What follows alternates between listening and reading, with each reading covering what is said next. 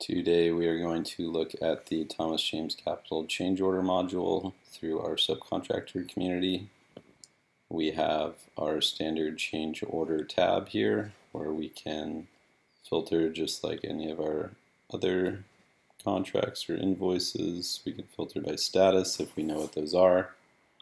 We can also search up here by, let's say we know a project is on AS test we can come in here, search for AS, and we can click into a project here.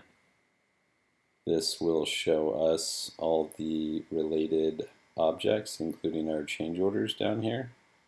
We can always click into one of these change orders by clicking on the description link. Might need to view all to see if there's more here.